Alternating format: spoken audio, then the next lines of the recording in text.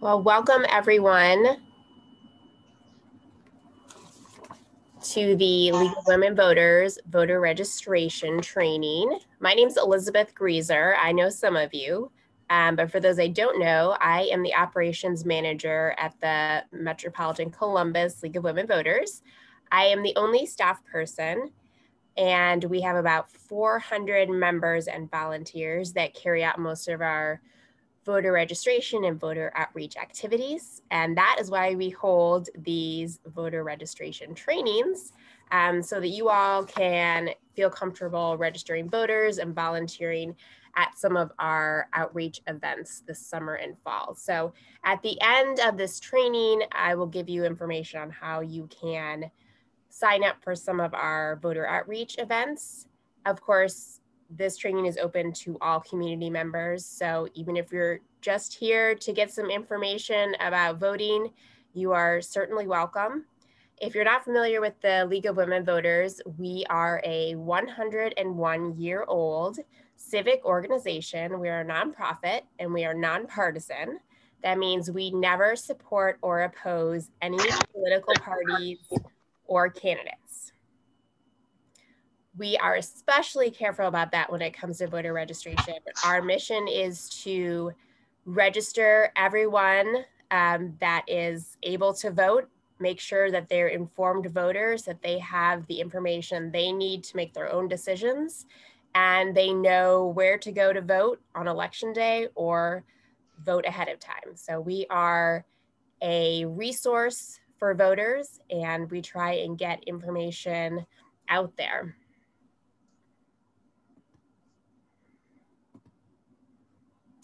Hopefully my, oh, there we go. So what are we gonna talk about tonight? This is a pretty general training. We're not gonna be talking about candidates running for election in November or specific issues. This training is for how to go out and register voters and answer frequently asked questions. So we'll go over who can vote in Ohio, the different ways you can register to vote, how you can check to see if someone's registered or not. We'll also talk about absentee ballot applications, which get a little complicated here in Ohio, and the different voting options for November. And then we'll talk a little bit more about registering voters out in the fields, best practices, and some FAQs that you may get if you are registering voters. So we'll start with who can vote. You need to be a US citizen. You have to be an Ohio resident 30 days by election day. This this one it really isn't too important because the voter registration deadline in Ohio is 30 days before election day. So if someone's an Ohio resident on the day they're registering, then you could just go ahead and register them. If you are going to be 18 by election day, you can vote. That means if you're currently 17 and your birthday is September 30th, you can go ahead and register today, August 5th, I think it is. Uh, you don't have to wait until you turn 18. I think one of the most important things to remember from this slide is that in Ohio, if you're not currently serving time, so in prison for a felony conviction, you can vote. The reason this gets a little confusing is because other states have different rules. So in some states, if you have a felony conviction at all, even if you've already served your time, you can no longer vote ever for the rest of your life.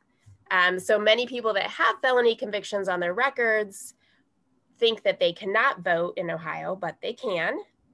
The one caveat to keep in mind is that after you have served time in prison, you will have to re register to vote. So when you are convicted and put in jail, your registration stops and you have to re register when you come out.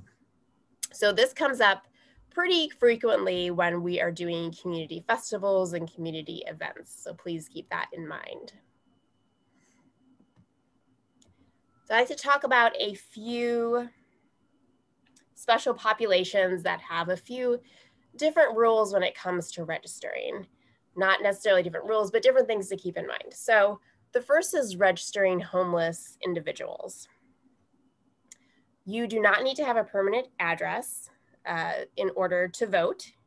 You can register based on um, the address of a homeless shelter that you're staying at or a local community organization, such as a church that regularly serves free meals or a food pantry. Any organization that is willing to accept mail on your behalf, you can register at. You can even technically register at, um, for example, the park bench on the corner of Main Street and Broad Street. That is technically a valid registration. We don't recommend that because there's no mailbox at the corner of um, Main Street and Broad Street, and it just makes things a little more complicated. So the address needs to be um, at an organization that will accept mail on the person's behalf. There is not a perfect way to vote um, for homeless individuals. So there's barriers kind of each way you decide to go. The two ways being you can vote on election day.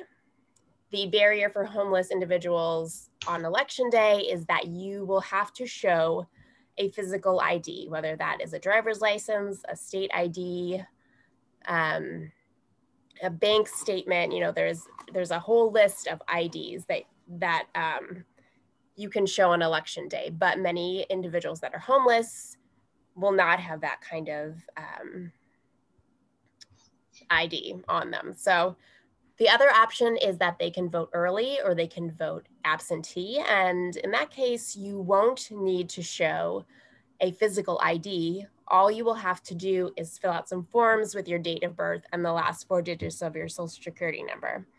The barriers in that case being that if you want to vote early in person, the only place to do that is the Franklin County Board of Elections office up on Morse Road which may not be very convenient. Um, you may not have transportation to get up there.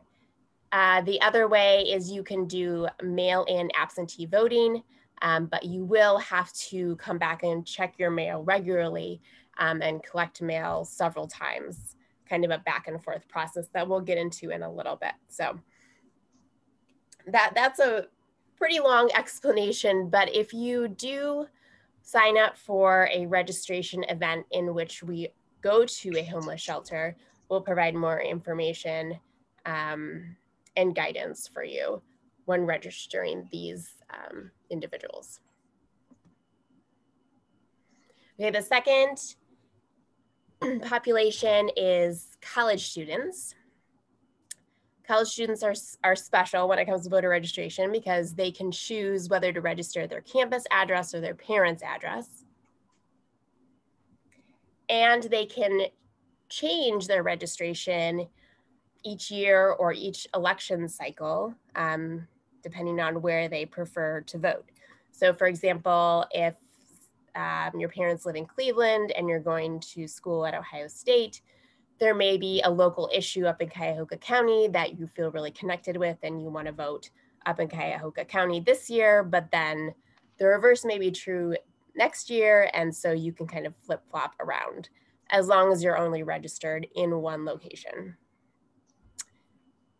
The, some questions we often get when it comes to registering college students are about driver's license and your address on your driver's license will does not need to match your campus address.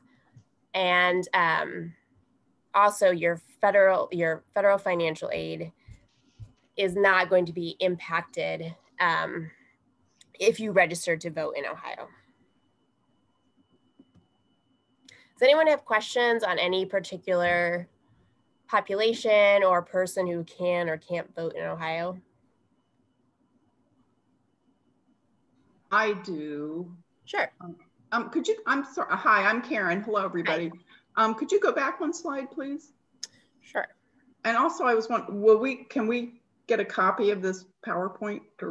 Yes. Okay. Afterwards, I will send out a copy of the PowerPoint and let me see if I can last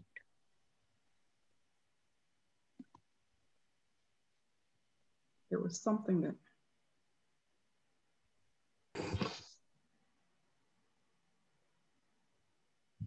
Oh, when you said, uh, that's what I was trying to figure out. You said that, that the college students can choose election by election where to register.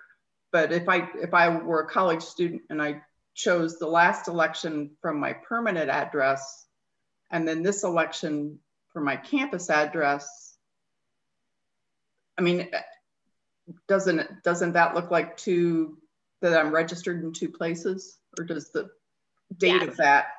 So what will happen is one? the first time you register to vote, the your local board of elections will input it into the system and that's a statewide database of voter registration. And then if the next election you choose to vote in a different county or city, you can go online or fill out a form um, to just update your address in the system. So, okay, it, so it, just... yeah, so it'll just um, it'll keep your same profile, but just update your address to make sure that you're only registered once. Thank you. Mm -hmm.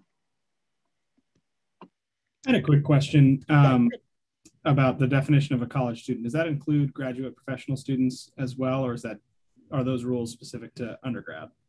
No, it it can include graduate students as well. It's um, a fairly vague rule, I would say. Anyone who considers themselves um, a student then has a permanent address elsewhere.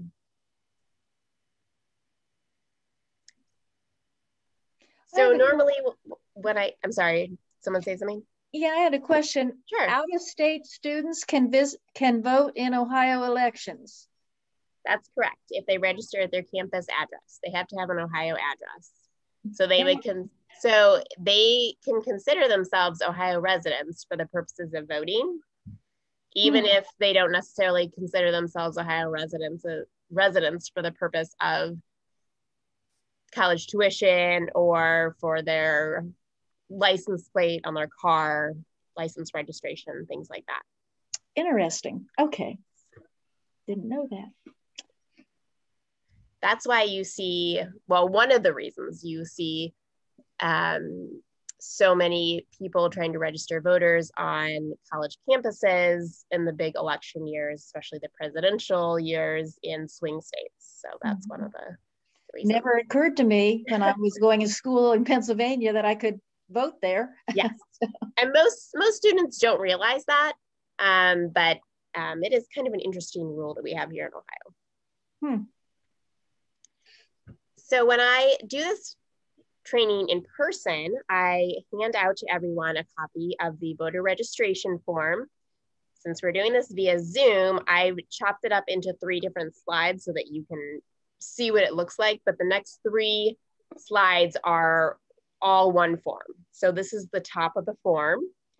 You can use this form to register voters for the first time you can use the same form to update someone's address, like someone's already registered, but they've moved. You can also use this form to change someone's name on their voter registration. So if they've gotten married or divorced or changed their name for whatever reason, you can use this form for all three uh, instances. The first two questions are often missed by voters who are filling it out. It needs to be checkmarked. I've had the Board of Elections return forms to me because the two boxes are not checked. Uh, the rest of this is mostly, you know, name, address. Box eight is the county where you live instead of the country box nine and 10 need to be filled out. That's the birth date and your Ohio driver's license number or the last four digits of your social. Second, middle portion of the form, this only needs to be filled out if you are updating someone's address or changing someone's name. Otherwise, you can just leave it blank. And then we have the bottom portion of the form. Uh, you need to make sure that the signature fits within the dotted line, the dotted box. The Board of Elections will take these completed forms and scan them into their system. And if someone's signature is outside of the box, then it doesn't show up, um, and then it's not not valid. So these are, um, you know, I'm going over all of these details because when you are registering voters at events, you're usually talking to them at the same time. They're trying to fill out this form. Um, people get distracted, and you would really be surprised how many times people make mistakes, leave out information um, that needs to be completed. So we talked about some of these, um, but you, a couple other errors to to watch out for is to make sure that someone is using an actual physical address instead of a PO box. The reason being that the Board of Elections will assign a polling location based on your physical address, and they can't assign that if you just put in a PO box. Another one that's really important is to make sure that voter is writing legibly.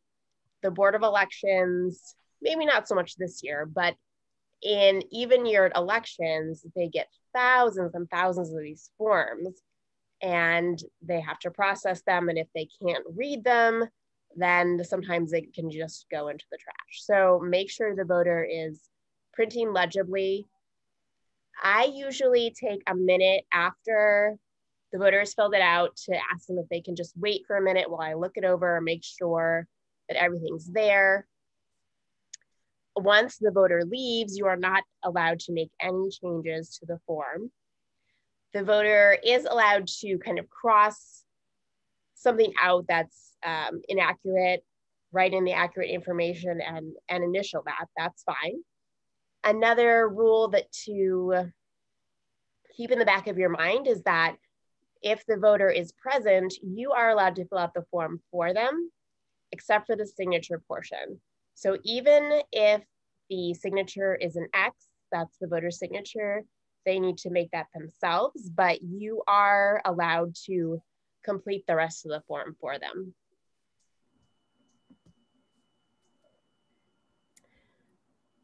So what happens next? I like to let the voters know what's gonna happen next. If you are returning someone else's form for them, you have 10 days after the date that the registration form is completed to return it to the Board of Elections office. And here that's on Morse Road. Or you have to return it by the voter registration deadline, which this year is October 4th. So if you have are volunteering at an event on October 1st, you need to get, make sure you get that in by October 4th.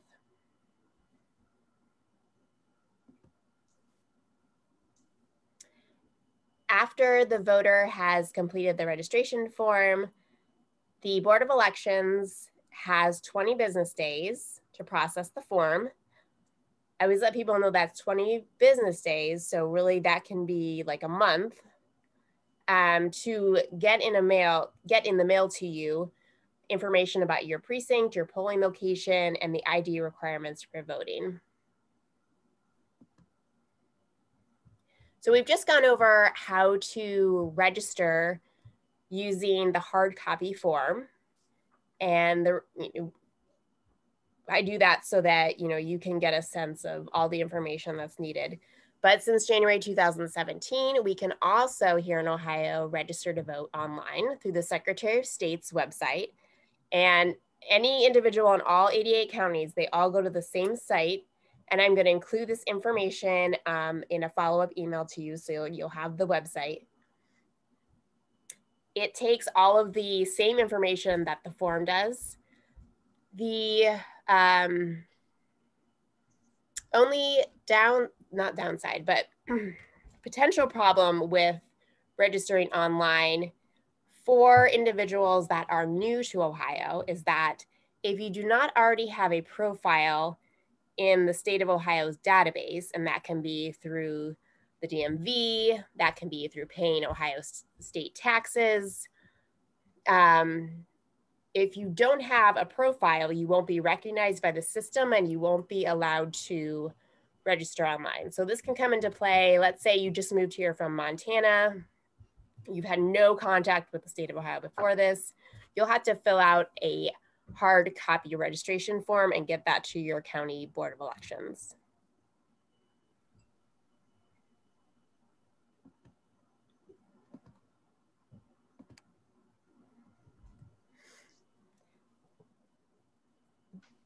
We sometimes get questions about whether you should promote online voter registration or hard copy form registration if you are out at events. Um, the league's general rule is that if we are have a table at a community festival or we're outside, um, you know, talking to people, we usually use the paper forms. One being that our manner of our, our kind of process is that we will turn in the forms for the voters if they want us to. So that makes that easier. Um, you don't have to worry about kind of trying to tell the voter about the online website. It's hard to walk someone through it if they're just using their phone and then you have to lean over them and it, you can't really maintain social distance that way. Um, but definitely we encourage people to register any way that they want to, um, especially if you know you're sharing information on social media with your friends or you know you can just let them know that they can register online. So any questions about just like regular registration before we move on?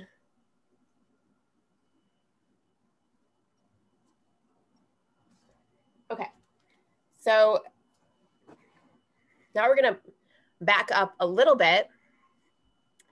We covered registration, but the first thing that we usually urge league volunteers to do at voter outreach events is actually ask voters if they've checked their voter registration status recently. So instead of saying, hey, are you registered?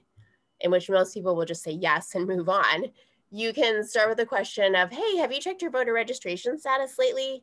Um, and that tends to be more of a conversation opener. And there's a number of reasons why we do that, besides just starting the conversation. One is that in Ohio, we have regular voter purges. The last one was this January. About 98,000 Ohioans were purged from the voter rolls. And this happens for a lot of reasons. So, um, the state regularly purges the rolls for people that have moved out of state, um, that have passed away. There's, there's a lot of reasons why we want to clean up the voter rolls. We have had some issues in the past of voters being purged that weren't supposed to be purged. And that's one of the things that the league does is kind of go through and double check after each purge happens um, whether or not the voters were supposed to be purged or not, and then try and contact those voters and get them back on the rolls.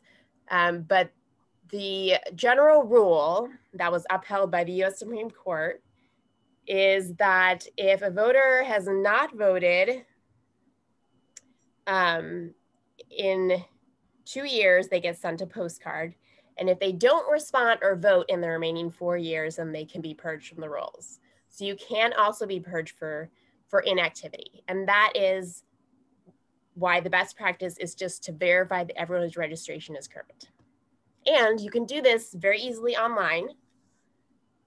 There is a website for that through the Secretary of State's office. All you need to put in is the person's first name, last name, and county. So you don't even have to ask for any personal information other than name.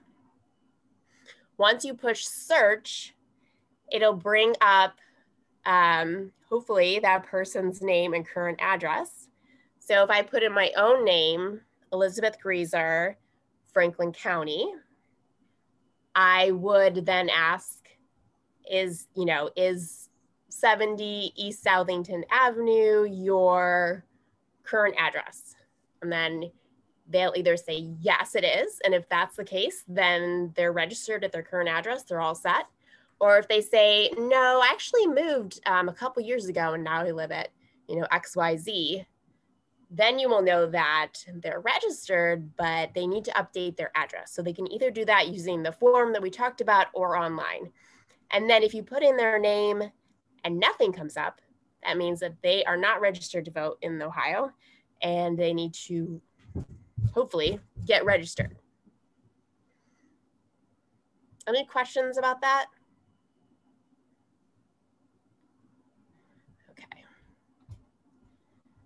So let's go on to voting options. After we've registered people, we like to let them know when the next election is and what their voting options are.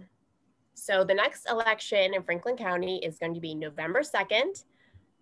Polls will be open 6.30 a.m. to 7.30 p.m. and you will vote at your local polling location. The second option is to vote early in person. That begins about a month before election day.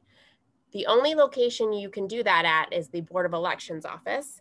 It's generally business hours, but there are some weekend hours the last two weekends before election day. And then the third option is absentee or mail-in voting, which also starts about a month before election day and it has to be postmarked by November 1st to count. On even year elections, the Board of uh, the Secretary of State will mail out absentee ballot application forms to all registered voters. I do not believe they are doing that this year. It's an odd year election. They don't normally do so. And I haven't heard any like murmurings that they're going to do that this year. So um, that means that absentee voting is going to be a multi-step process, but it is a good option, um, especially if people have COVID concerns um, or they just um, want to get their ballot and be able to sit and think about it for a while before they vote. We had a lot of people, a record amount of voters here in Ohio use the absentee ballot last year for the 2020 general election. So there, like I said, it's a multi-step process and it can be a little cumbersome. You cannot request an absentee ballot online. You have to print out, sign, and mail an application uh, to your local Board of Elections. Once the Board of Elections receives your application, they will send you back a ballot. You'll fill that out and you will either drop it off or mail it back to the Board of Elections office. So it requires several stamps, it requires some follow through. Um, so just kind of make sure people are aware of, of all the steps that are involved if they want to do absentee voting. I've got a question about the request yes. for an absentee ballot. Um, are there blank ones that we can have people fill out and they can mail them in, or do you have to fill it out online and print? No. Um, so we definitely we have at all of our events we have blank copies of absentee ballot applications, and this is actually what it looks like. Uh, the picture on the screen is what it looks like. Um, you can fill one out online, but then it will prompt you to print it out so sure. you can sign it. Okay. Um, but most, it's usually starting around September all the local libraries will have copies of this as well. Um, and of course, you can go to the Board of Elections and get as many copies as you want. If you fill one out, like if I was out uh, registering people and I had 15 people fill one of these out, could I take them to the Board of Elections or do they have to be mailed? Oh, no. Yes. Good. Great question. Thank you. Yes, you can take someone else's absentee ballot application to the Board of Elections. Um, there's an important distinction, which I think that you were trying that you were getting at, which is that you as a um, volunteer cannot take someone else's ballot back to the board of elections for them uh-huh. unless you're an immediate family member. Right. So um, registration forms and absentee ballot requests, which is what this is on the screen, uh, you know, you can take as many of those completed applications as you want to the Board of Elections, but not the ballots themselves. Thank you. So the absentee ballot application, it's pretty similar to the voter registration form. Um, you know, the, the big thing I point out to people is that you can have this absentee ballot mailed to where whatever address you want. So if you're going to be on vacation in California for the whole month, uh, for the whole, you know, two months of October and November, you can have the absentee ballot mailed to California um, as long as you put your permanent address here in Ohio. You can vote from California and mail it back to Ohio. you the only ID you need to put in is your Ohio driver's license or the last four digits of your social along with your date of birth. And then of course sign it.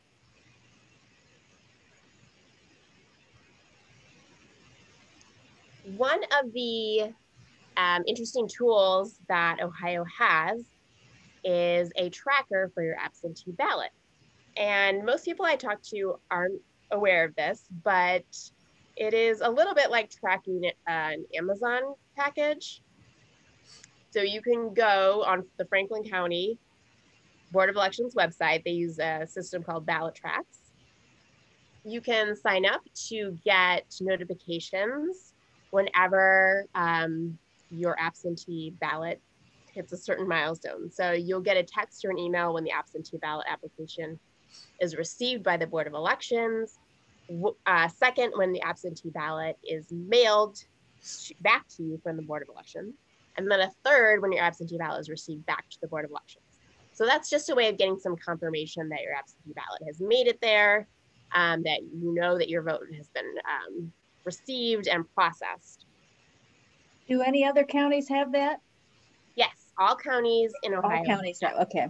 Some, um, each some counties have a little bit different way that they do it. That's why I put the specific Franklin County link. Um, but the Secretary of State's website has links to all the different counties and the trackers.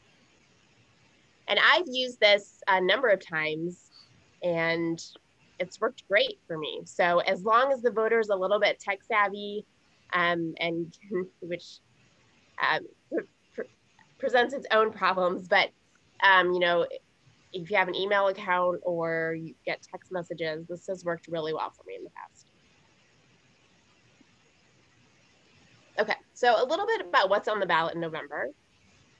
It's what we consider here an off year election, but that doesn't mean that voting still isn't important. Um, actually, in some ways, when you think about it, it's even more important because you're voting on very local issues and your vote I'm going to use the word counts in quotation marks, um, more than on a national um, election because there are fewer voters voting. And um, you'll be voting on city council and city school boards, which decide a lot of very important local issues.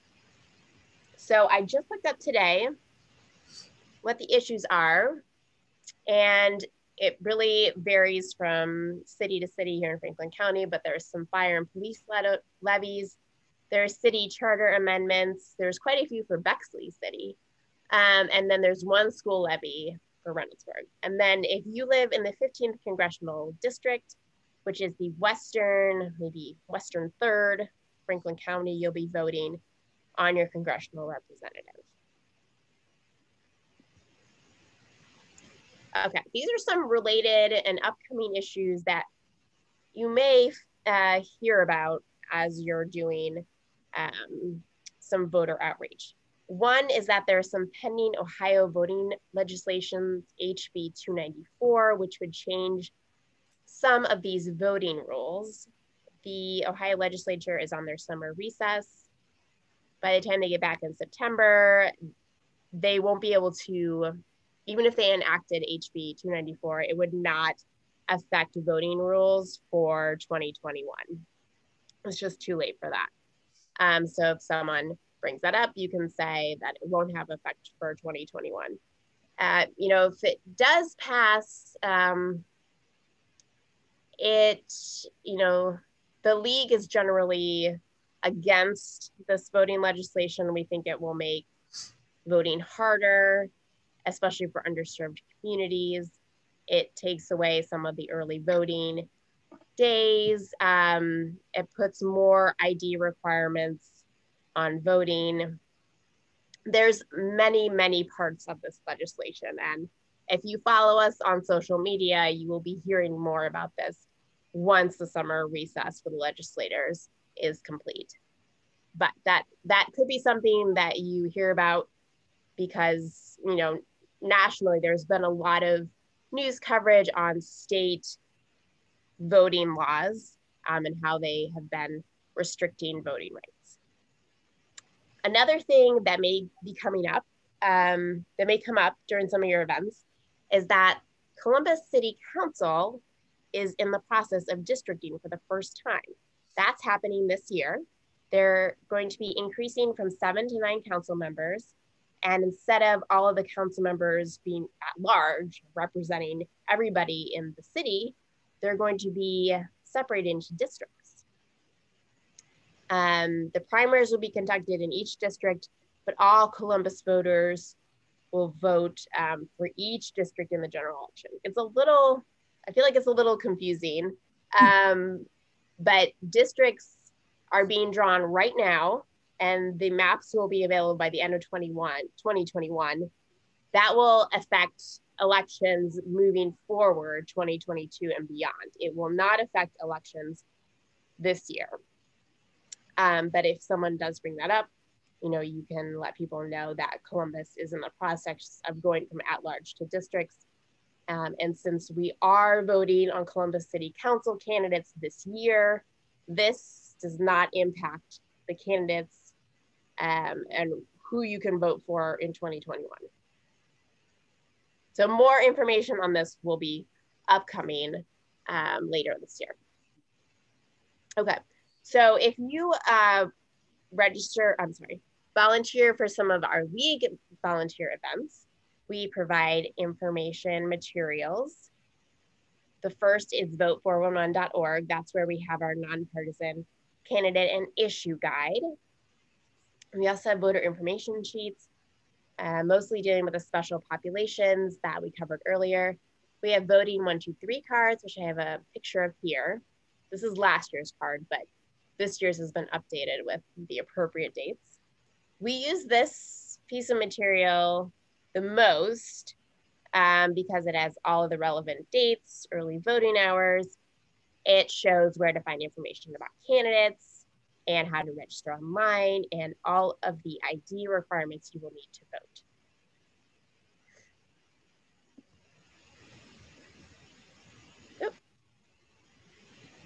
Okay, sorry, I went a little bit too fast. As we get closer to election day and voting, we also have information on election protection, which is a 1-800 number. Um, it's a nationwide number that collects information on the when people have problems voting. So if they're turned away from the polls for whatever reason, um, they're told that they have to vote provisionally or that they're not allowed to vote at this location.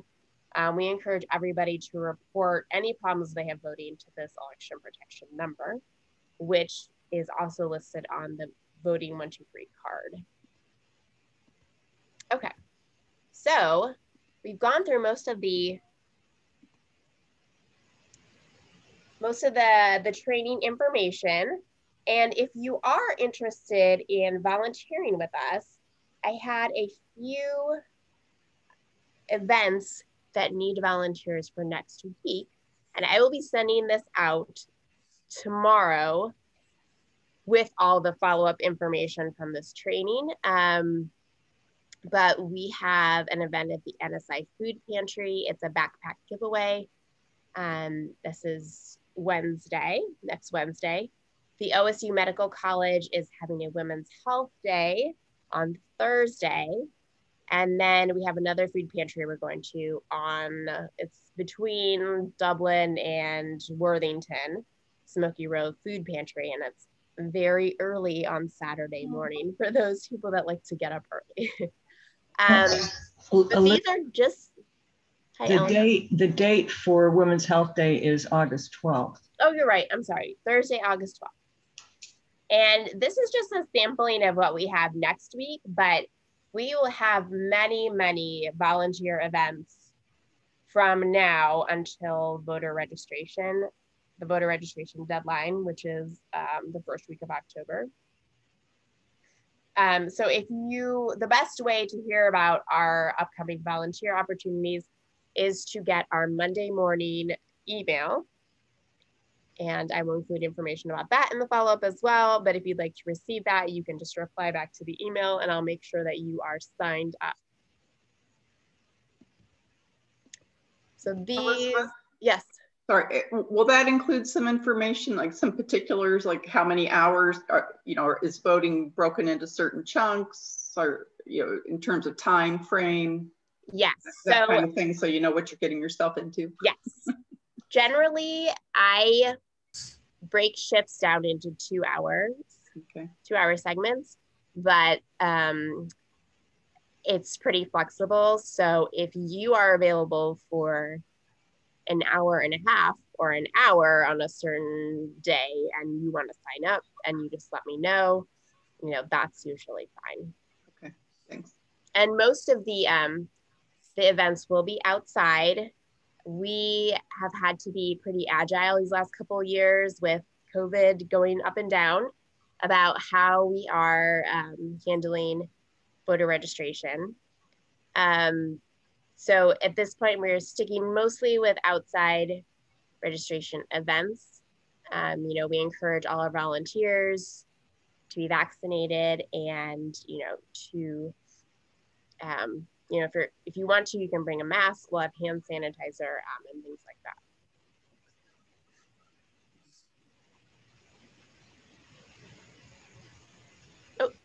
Oh, went too far again. So a few frequently asked questions. We went over some of these, but um, one question is, do I have to register for every election? Answer is no. But if you haven't voted for several years, you need to check your voter registration and make sure that you're still registered because you can be pulled off the rolls for voting too infrequently. Some people always ask if or say that they don't want to be registered because then they'll be called for jury duty. But an interesting fact is that in Ohio, if you are a licensed driver or a taxpayer, you're already in the jury pool. So you might as well register to vote too.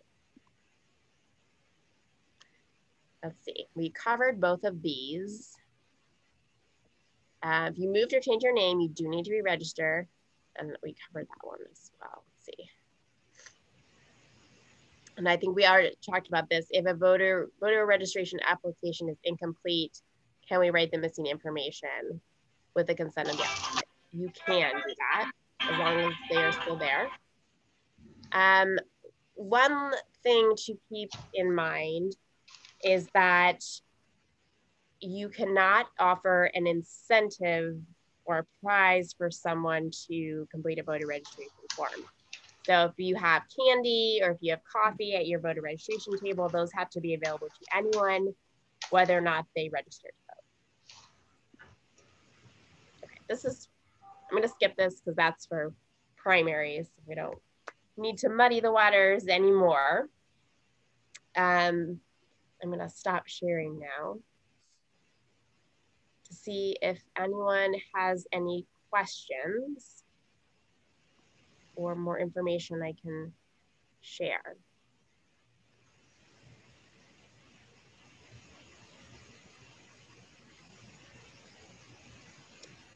One last point, I almost forgot this, but we are again this year working on an initiative to do voter registration inside the county jails.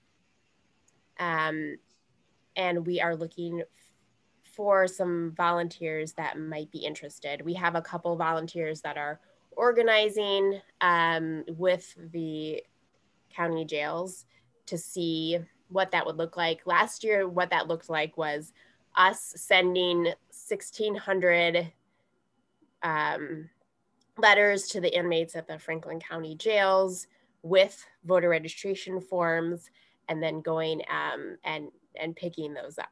So it was all socially distanced. In the other years, it has involved volunteers going into the jails and registering the inmates in person and then making sure that those registration forms get back to the Board of Elections um, and then different or the same volunteers going back later, usually the weekend before election day, to actually assist the inmates in completing their ballots and making sure those got back to the Board of Elections. So that's a special project we're working on. Um, and that's in in addition to just all of our regular voter outreach. So if you are specifically interested in that, um, helping with that population, you can um, let me know about that and I will connect you with the um, people that are organizing that in Franklin County. But if there aren't any other questions, I appreciate everyone's time on a lovely August I have- I have a quick question. Sure. Okay, I know there's some place I can look to see who else might be signed up at the same time I am, but I'm not sure where that is. Ah, okay. um, so Nancy, what Nancy's talking about is that um, I use Sign Up Genius to organize all of our league volunteers and the events. Um, and there is a specific address where you can look up and see if someone else is, is volunteering with you. Okay, Um, and Nancy, I will get that to you after thank you. after this training. Thank Um, but if you do want to, go ahead, Karen. No, Oh, was, Fin- Yeah, finish your discussion. no, no discussion, just go ahead. Um, so I, I've been a member of the League of Women Voters for some time, and that's how I found my entree into the training. Are you open to volunteers who aren't league members? Yes, you do not have to be a league member to volunteer with us. Um, if you are, and if you are like a first time volunteer, you can note that on the sign up form, and I will make sure that usually I can tell if you're a first time volunteer because I don't recognize your name, but um, I will make sure you are paired up with someone who is more experienced um, that, that can help you out. And we do try and always go out in pairs if we if we can. Okay, thank, and I, I assumed I would generate some conversation with friends and maybe some interest. Yes, more yes, of course. that way. And we do have people that, you know, sign up with a neighbor and go out and do a Yeah. particular event. And that's, we welcome that. Okay thank you. Uh, Ellen? Yeah, where's the recording going to be if we have people, if you know people that couldn't come tonight but are still interested? I will send you the link probably tomorrow morning and then you can just click on it and it'll, it'll go. I can probably stop the recording now. Okay, and then are you gonna put that in the e-voter too for, um, Yeah, I think so. I think that that's, that's a good idea. Good idea. So uh, at these uh,